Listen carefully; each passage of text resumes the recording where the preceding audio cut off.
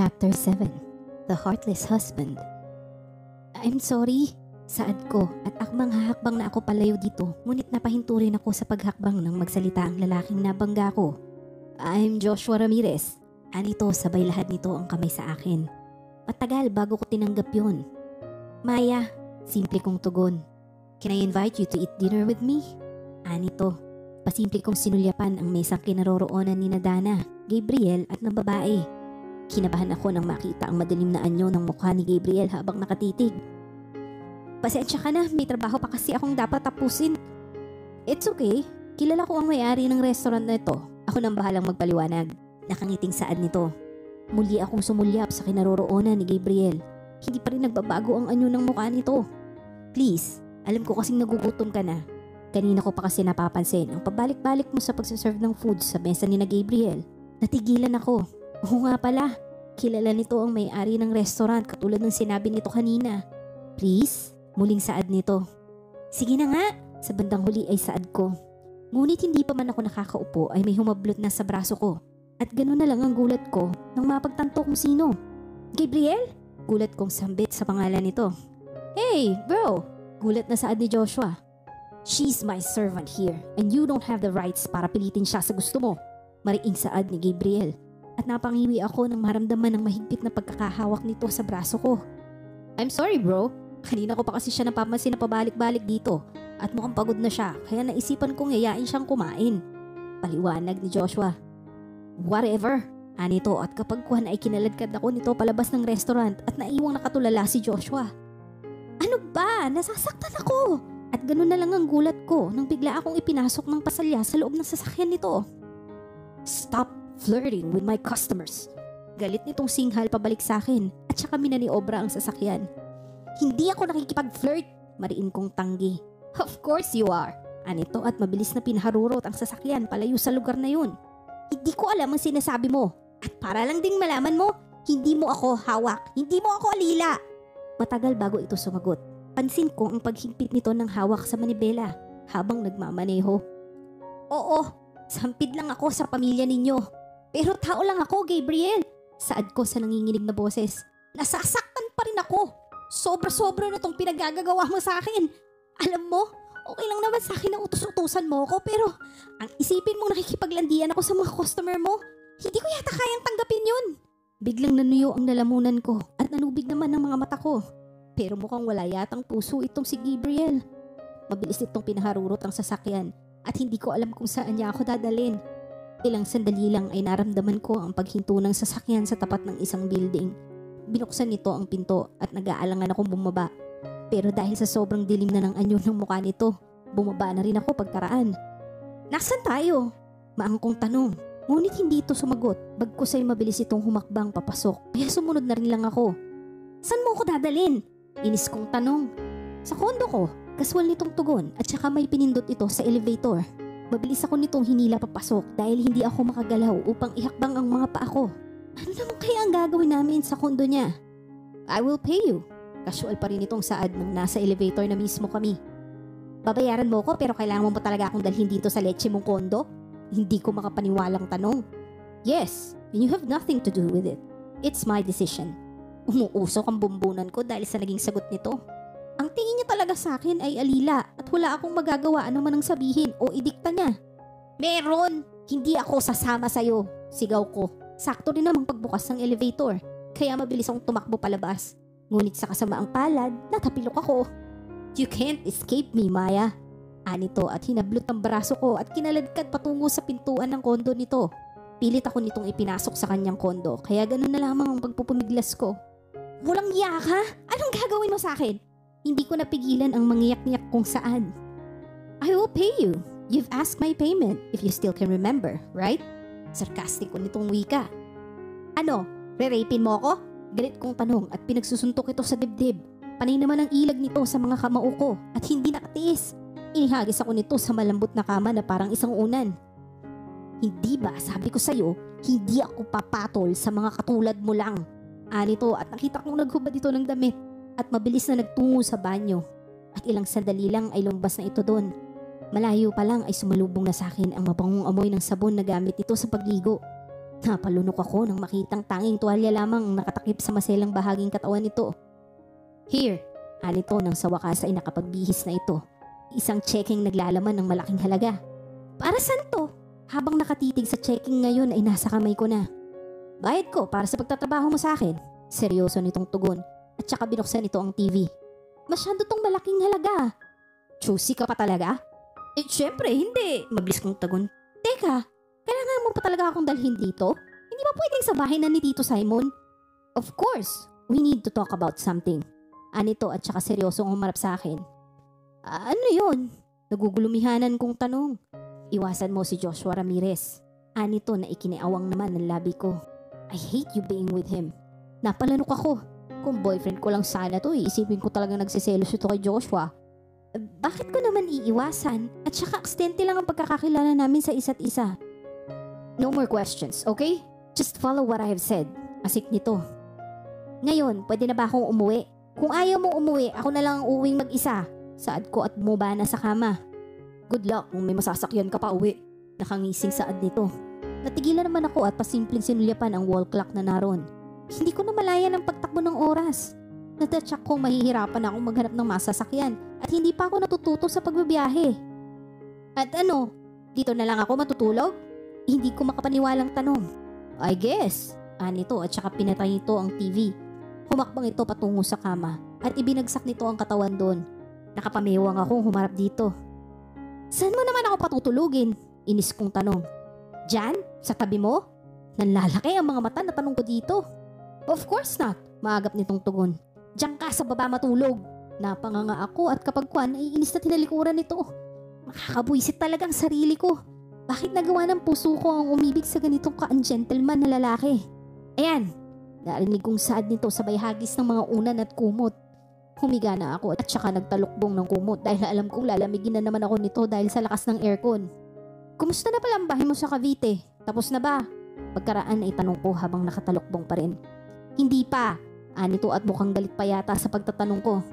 Bakit? Gusto mong bumalik na kagad ako doon? Dugtong nito. Kahit wag na sana, tugon ng isip ko. Kahit palagi mo ko sinasaktan, gusto ko nandito ka lang palagi. Dugtong ng isipan ko. Malapit nang matapos yun. Dugtong pa nito. Hindi ko naman maiwasang palihim na malungkot. Hindi ko alam kung bakit kinailangan kaming ipatawag ni Gabriel sa ospital. Maaga pa lang ay tumawag na si Auntie Mel na kailangan daw naming magtungo sa ospital sa lalong madaling panahon. Hindi ko maiwasang mag-isip ng masama kaya labis-labis na kaba ang nararamdaman ko. Hindi na rin kami dumaan sa bahay. Tumiretso na kaagad kami doon galing sa kondo ni Gabriel. Patakbo akong humakbang patungo sa pintuan ng kwarto ni nanay kung saan naroroon sa labas si Dana at Auntie Mel. At mukhang hinihintay nga kami ni Gabriel. Anong nangyari kay nanay? Kinakabahan kong tanong sa dalawa. Nagkatinginan si Auntie Mel at Dana at hindi sumagot sa tanong ko kaya halos sumabog na ang puso ko sa labis na kaba. Gabriel, Maya, pumasok kayo sa loob nandun si Simon naghihintay sa inyo kanina pa. Ani ni Auntie Mel. Nagkatinginan kami ni Gabriel at saka nauna na akong pumihit ng siradura ng pinto. Sumunod naman si Gabriel sa akin papasok sa loob at isinara ang pinto. Namataan ko si Tito Simon sa tabi ni nanay habang hawak nito ang mga palad ni nanay. Tumikim ako upang makuha ang pansin ng dalawa. Kaagad naman nag-angat ng tingin si Tito Simon at nakita kong walang kangiti-ngiti ang mapuputlang mga labi ni nanay. I'm glad na nandito na kayong dalawa, ani ni Tito Simon. Sobrang seryoso ng mukha nito at hindi ko maiwasang kabahan kapag kuhan ay bumaling ito kay Gabriel. I think this is the time for you to settle down. Mariing wika ni Tito Simon. What do you mean, Dad? Kunot ang noon na tanong ni Gabriel sa ama. Matalino ka, at alam ko't alam mo ang ibig kong sabihin. Mariing wika ng ama nito. Napagdesisyonan naming dalawa ni Amanda na ipakasal kayo ni Maya sa lalong madaling panahon. Gulat kaming nagkatinginan ni Gabriel dahil sa narinig. Who made you think na pakakasalan ko si Maya? Hysterical na wika ni Gabriel. Wala po kayong karapatan na pangunahan ang desisyon ko. Ako rin! Hindi ako magpapakasal sa kanya! Saad ko. Kahit gaano ko pa gusto si Gabriel, hindi naman ako makakapayag na magpakasal dito ng sapilitan mas masarap pa rin ang magpakasal sa isang lalaking minamahal ka rin. Kailangan mong pakasalan si Gabriel anak dahil alam kong magkatabi kayong natulog kagabi. Saad naman ni nanay. Halos lumuwa ang mga mata ko. Nagkatinginan kami ni Gabriel at baka sa mukha nito ang gulat. Sino po nagsabi sa inyo na magkatabi kami ni Gabriel kagabi? Hindi kayo umuwi kagabi ng bahay at ayon kay Dana, magkasama kayo ni Gabriel dahil namataan niya kayo ng palabas ng restaurant. Mahinang paliwanag ni nanay. Nay, tama po kayo. Magkasama po kami ni Gabriel kagabi pero wala naman po kaming ginawa. Saan ka dinala ni Gabriel? Kapag kuha na itanong naman ni Tito Simon sa akin, hindi nila pinakinggan ng paliwanag ko. Tumingin ako kay Gabriel at alam kong hindi nito gusto ang mga nangyayari. Sa kondo niya, pagtatapat ko, nakita kong naikuyom ni Tito Simon ang kanyang mga kamao bago bumaling kay Gabriel. Hindi ako ipinanganak kahapon, son. Lalaki ako kaya alam kong may nangyari sa inyo kagabi. Mariing saan ni Tito Simon? Wala pong nangyari sa amin. Halos magkapanabay pa naming wika ni Gabriel. So anong ginawa ninyo sa kondo? Nagtitigan? Sarkastikong tanong ni Tito Simon. Nothing happened between us. My girlfriend na ako, Dad. Hindi ko magagawa ang sinasabi ninyo. Halos umalingaw-ngaw ang boses ni Gabriel sa loob ng kwarto. Ako naman ay natigagal sa sinabi ni Gabriel. Bakit ang sakit-sakit na marinig ang mga katagang yun? Hindi ko alam na may girlfriend na to dahil wala naman ako nakikitang may kasama itong babae maliban sa babae kahapon sa restaurant. Kung ganun, kailangan mong hiwalayan ng girlfriend mo. Ayokong maagrabyado ang anak ko, Gabriel. Si nanay naman ang nagsalita. At alam kong galit ito. Mabilis ko itong nilapitan at niyakap. Nay, maniwala po kayo. Wala pong nangyari sa amin. Naiiyak kong paliwanag. Hindi ko alam na magagawa mo ang bagay na yun, anak. Hindi ko maiwasang sisihin ang sarili ko kung bakit ka nagkaganyan. Siguro, kasalanan ko to dahil hindi ka lumaki sa akin. Iniwan kita at hindi ko nasubaybayan ang paglaki mo. Humihikbing saad ni nanay. Ang laki ng pagkukulang ko sa iyo bilang isang ina. Napaiyak na rin ako dahil sa sinabi ni nanay. Hindi nito dapat sinisisi ang sarili at isa pa, napalaki naman ako ng maayos ni Auntie Mel. Kahit sa kabila ng kahirapan namin noon sa probinsya. Nasa amin pa rin ang Tito Simon mo ang desisyon. Ayaw kong maging talunan ka. Sa ayaw at sa gusto ninyo, pakakasalan nyo ang isa't isa. Pinal na wika ni nanay. Wala na rin akong nagawa dahil alam kong sarado ang isipan nila sa mga paliwanag namin ni Gabriel. Ako na ang bahala sa kasal ninyo. Ani ni Tito Simon. Masaya na ako kahit mapanood ko lang sa video na kinakasal kayo. Pasensya na. Hindi ko masasaksiyan ng personal ang kasal ninyong dalawa ni Gabriel. Naiiyak na wika ni nanay. Hindi ko alam kung ano ang mararamdaman ko. Hindi ko akalain na sa edad kong 19 ay maikakasal na ako sa isang lalaking hindi katiting ay walang pagmamahal sa akin. Dapat ba akong magsaya? Dahil sa wakas, mapapasakin na ang lalaking lihim kong minamahal. Umuwi kami ni Gabriel ng bahay nang walang imikan. Gustong gusto kong kausapin ito, pero tila umurong yata ang dila ko. Ano na ang desisyon mo? Sa wakas ay naitanong ko. Hindi ito kaagad nagsalita. Bagkus ay nagtungo ito sa minibar at doon kumuha ng alak. Kaagad naman akong sumunod dito. Hayaan na natin sila sa kanilang desisyon. Ani ni Gabriel sabay inom ng alak. Natigilan ako. Tanggap na kaya nito napakasalan ako? Hindi na ba siya magpoprotesta na pakasalan ako? O baka dahil mahal niya rin ako? Napailing na lang ako. Imposible ang bagay na iniisip ko. At gusto ko lang ipaalam sa'yo, hindi mo angkay ng puso ko. Kahit pa sabihin nating mag-asawa na tayo. May nobya na ako at siya lang ang mahal ko. You can do whatever you want and I can do the same. Seryoso nitong wika. Ang sakit naman ng sinabi nito. Ngayon pa lang ay nakikinikinit ako na na magiging miserable ako sa feeling nito bilang asawa. Hindi man sa pisikal kundi sa emosyonal. Hindi ba may rigor ka na? Pwede mo pa rin siyang kitain kahit nakasal ka na sa akin. Hindi ako makapagsalita. Gustong gusto kong sabihin dito na naglaho na ang pagmamahal ko kay Rigor dahil bumaling na dito. Pero hindi ko alam kung paano sisimulan ang magpaliwanag. Nagulat pa ito nang bigla kong hablutin ng hawak nitong bote na may laman pang alak at inisang tunggayon. Tiniis ko ang pangit na lasa para lang maibsan ng sakit na naidulot ng mga sinabi ni Gabriel. What do you think you're doing? Inis itong tanong. Hindi ba halata na umiinom ako? Irritable kong tugon at muling tumunggan ng alak. Stop it! Hard liquor yan! Baka hindi mo kayanin ang resulta kapag naubos mo yan. Mariing saad nito, sabay bawi sa akin ng boteng may lamang alak. Pero mabilis ko rin nabawi yon mula sa mga kamay nito at hindi na ito nakapalagpahan ng ubusin ko ang laman yon. Parang biglang umikot ang paningin ko. Hard liquor nga yata yun katulad ng sinabi nito. Ouch! Ang sakit ng ulo ko. Naiiyak kong saad habang hawak ang ulo ko at nariin kong ipinikit ang mga mata ko dahil umiikot ang paningin ko. Stubborn, narinig kong saad ni Gabriel at ilang sandali lang ay tila lumutang ako sa ere. Parang may bumuhat sa akin at ang kasunod na nangyari ay hindi ko na namalayan. Nagising ako alas 4 na ng hapon at ramdam ko ang sobrang sakit ng ulo ko dahil sa alak na nainom. Natatandaan kong kainuman ko si Gabriel at marahil ay ito ang bumuhat sa akin papunta dito sa kwarto. Hindi ko maiwasang mapangiti dahil sa isiping yun. Kapag kwan ay dahan-dahan akong bumangon at lumabas ng kwarto. Balak ko sanang hanapin si Gabriel, ngunit natigilan ako nang mahagip ng paningin ko si Gabriel at isang babae mula sa sala. Palihim kong pinagmasdan ng babae. Kung hindi ako nagkakamili, ito yung babae sa restaurant kagabi at marahil din ay ito ang sinasabing girlfriend ni Gabriel. Nakagat ko ang pang-ibabang labi ko upang pigilan ang sobrang sakit na nararamdaman ng puso ko. Tatalikod na sana ako subalit huli na dahil biglang gumawi ang paningin ni Gabriel sa kinatatayuan ko.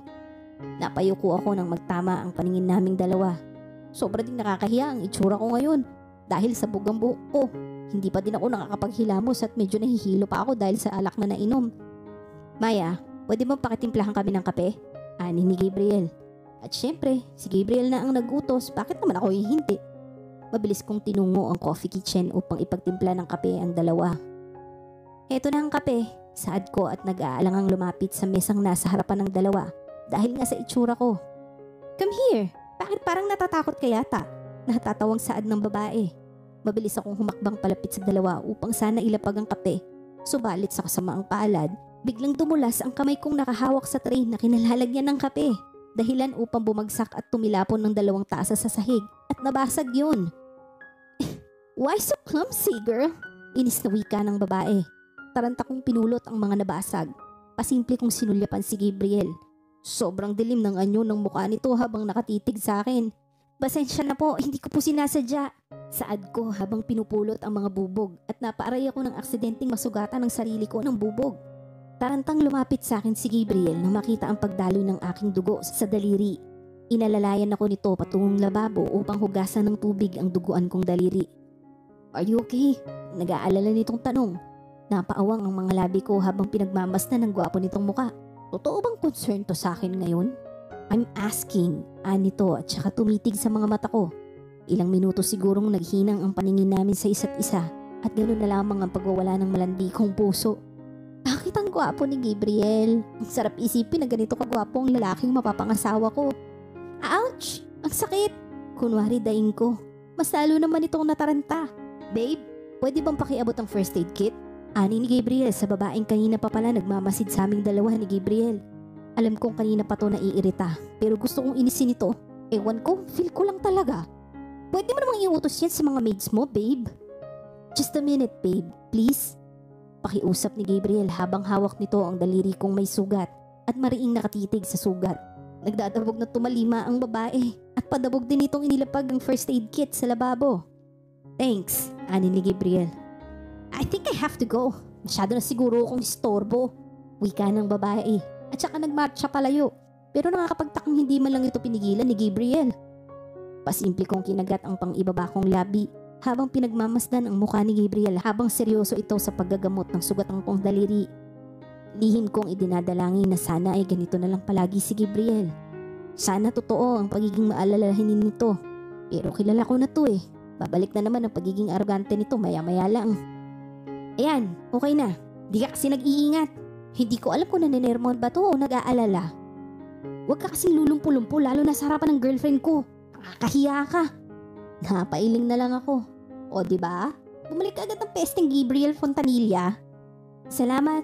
Nakangiti kong saad habang nakatitig sa magaganda nitong mga mata.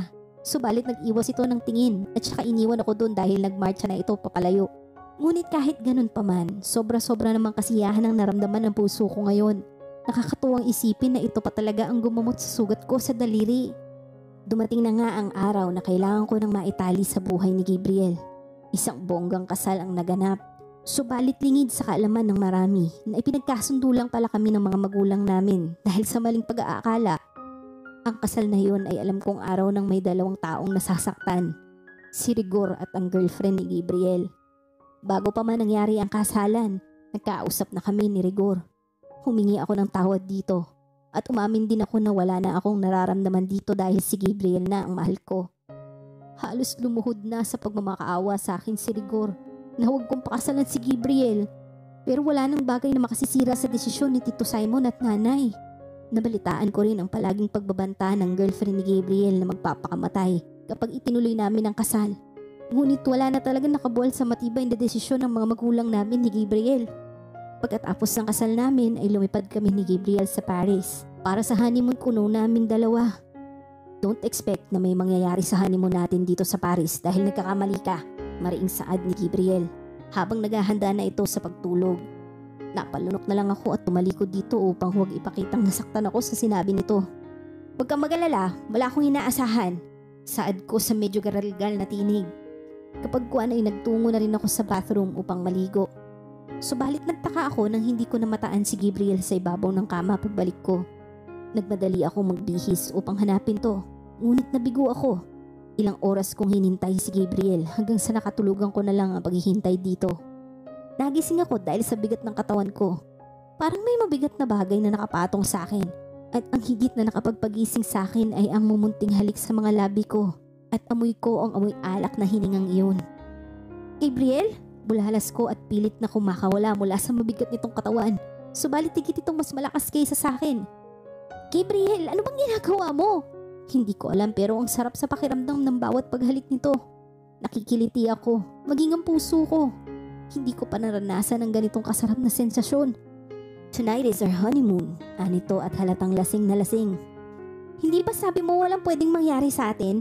Saad ko at panay ang singhap ko dahil sa nakikiliti ako at idagdag pa ang masarap na sensasyong dinudulot ng pagdikit ng katawan namin sa isa't isa. Ngunit hindi ito sumagot, bagkus marahan itong hinalikan ng aking mga labi.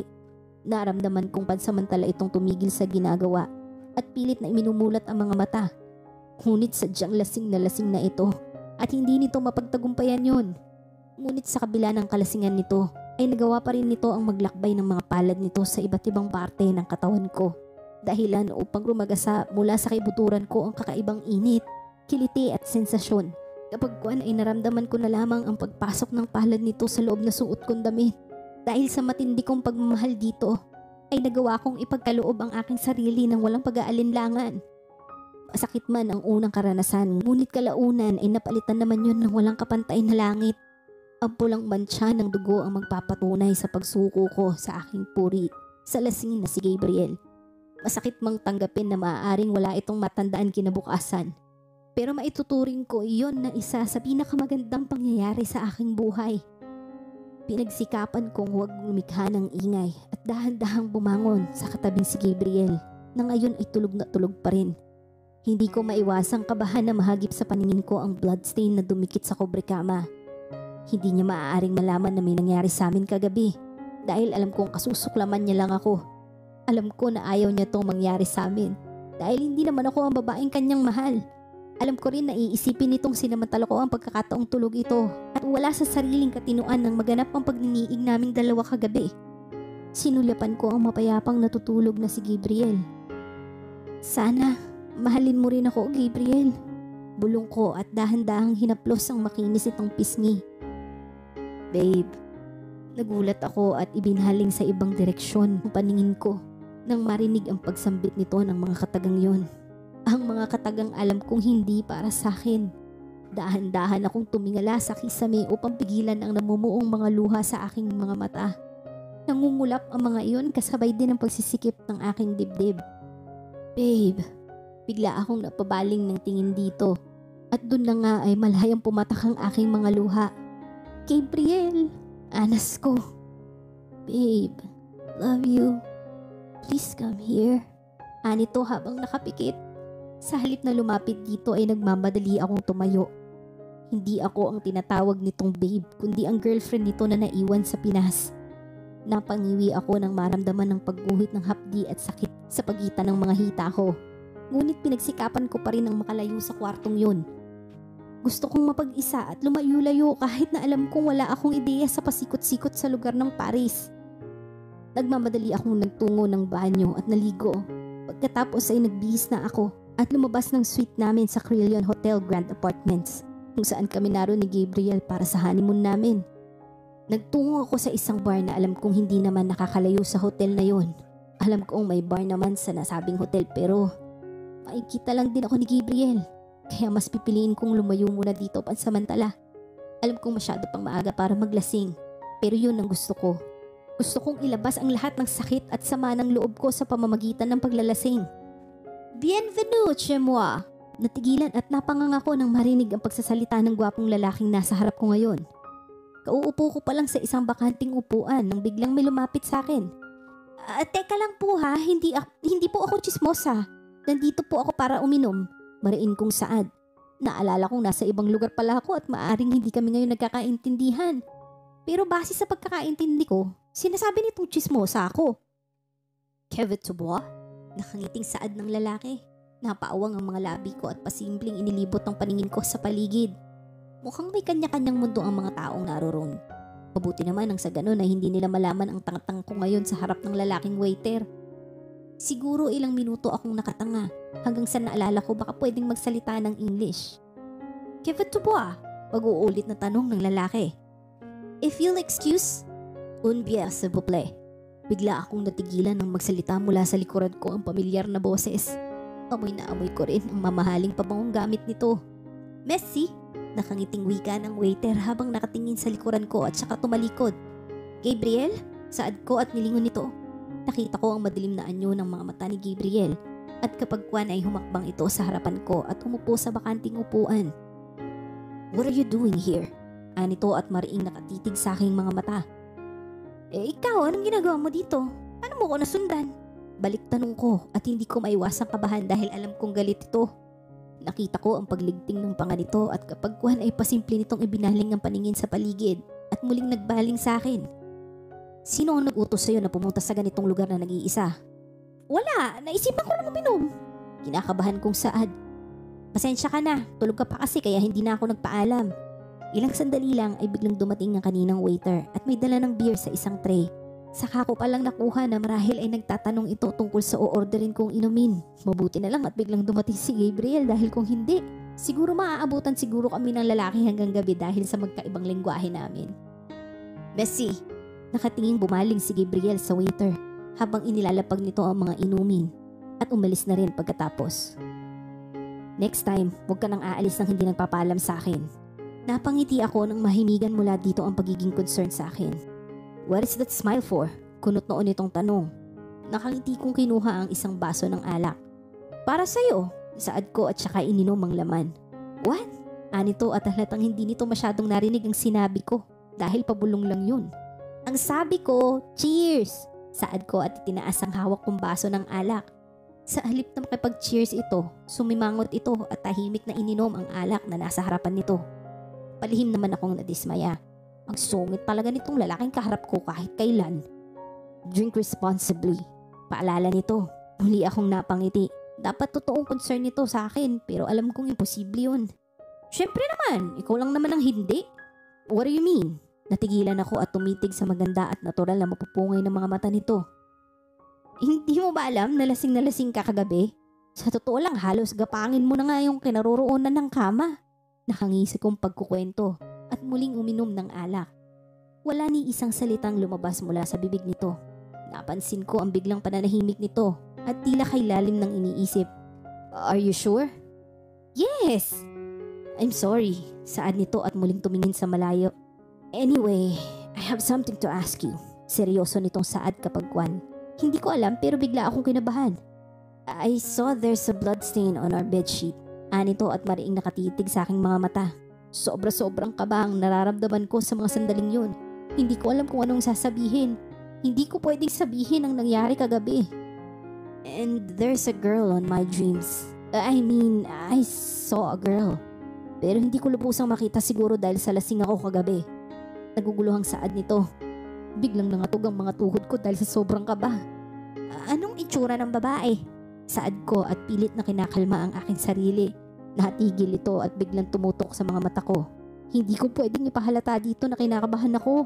She looks like you. Anito pagkaraan. Pilit akong umiti. Siguro nakita mo lang ako kagabi dahil magkatabi naman tayong natulog. Saad ko. Magkatabi tayong natulog. Hindi nito makapaniwalang tanong. Huli na para bawiin ko ang sinabi ko. Eh, I'm sorry. Wala naman kasi akong choice eh. Bigla ka na lang sumampa sa kama. Hindi ko na nagawang ibaba ka. Ang bigat mo kaya. Then, bakit hindi na lang ikaw lumipat ng pwesto? Dapat sa baba ka natulog. Hindi ako mapaniwalang tumingin dito. Talaga bang wala nang natitirang kaginoohan sa katawan nito? Iinaantok na ako. Pagdadahilan ko, isang katahimikan ang namagitan sa amin.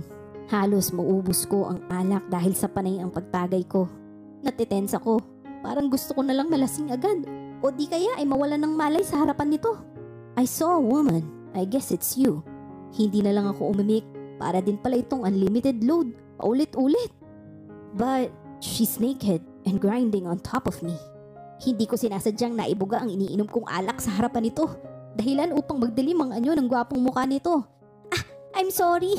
Taranta kong wika at ito na mismo ang nagpunas sa damit na nabasa ng alak na naibuga ko kanina. She's moaning and me too. Nag-aalangan nitong saad at tumitig sa mga mata ko. Hindi ko alam kung paano tatagalan ang mga titig na yon. Ah, baka nag-wet dreams ka lang. Pagdadahilan ko. Hindi ito umimik at muling nag-isip at uminom ng uminom. Did something happen between us? Kapag kwan ay tanong nito. Hindi nito hiniwalayan ng titig ang mga mata ko, kaya naman ganun na lamang ang kaba ko. Hey, untag nito. Ngunit biglang nagdilim ang paningin ko sa paligid at umikot din ang paningin ko at hindi ko na namalayan pa ang mga pangyayari. Nagising ako sa isang silid at alam kong nasa hotel room ko na ako. Pilit ako bumangon kahit medyo nahihilo pa ako. How are you? Biglang bumungad si Gabriel at nilapitan ako at umupo sa gilid ng kama. How are you? You passed out earlier. Are you okay? Ako?